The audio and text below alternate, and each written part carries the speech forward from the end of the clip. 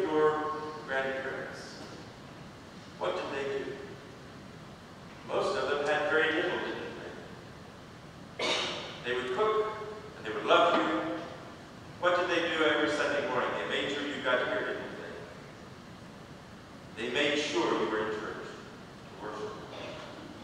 Because that was the thing that was important. They knew that was the very basis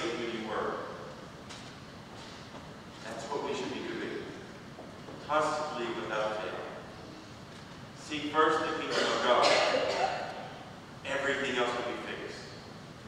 If you do that one thing, you can glorify God. He will look at us and say, Well done, good and faithful servant. Enter into the joy of your Father. In the name of the Father,